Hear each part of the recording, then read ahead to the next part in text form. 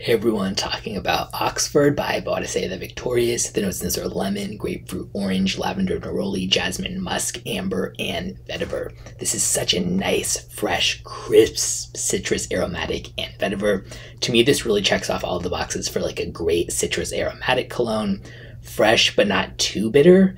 Uplifting and bright, but also has like a classy side to it an aromatic green zing, but not too like sharply herbal, like not swampy style and uh, yeah, has a very like natural citrus opening to me, but not natural in that kind of like orange essential oil room spray type of thing, but like more like you're standing in a grove of like lemon and orange trees.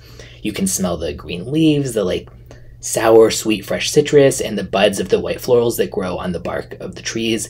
And then there's like some classy, smooth lavender in the mix as well.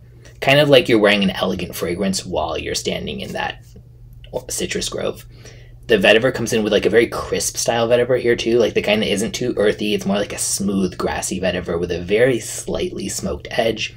I wouldn't say that it's like a unique scent profile in terms of there's a lot of scents that are like citrus and this and vetiver or whatever, but this is a really well done execution of it.